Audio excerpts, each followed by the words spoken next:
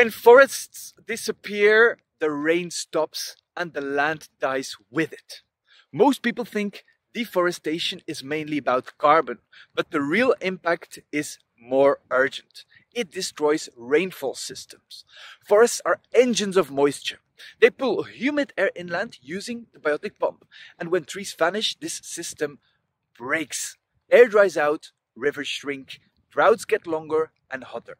We've already seen this in parts of the Amazon, Congo and West Africa where once fertile land turns to dust. So it's not just about saving trees, it's about saving rainfall. And I was in the Amazon not too long ago and I saw it with my own eyes what's happening. Right now 20% of the Amazon is already cut down approximately, but if you reach 25%, the vicious circle will turn so high that the Amazon will collapse. What happens? You have the Amazon River, the biggest river in the world, but you also have an atmospheric river, a river that follows the opposite direction of the Amazon in the air. It's called an atmospheric river, or I like to call it a flying river.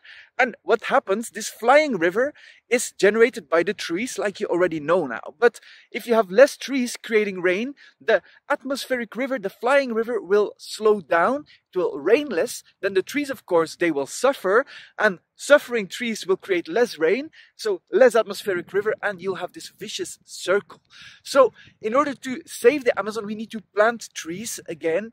But the problem is, a lot of it is farmland, and we can't plant forest on farmland. So, we do can plant agroforestry, and these agroforestry trees have the same effect. So I would like you to speak differently about deforestation because it's not uh, just a climate problem, it's a water emergency.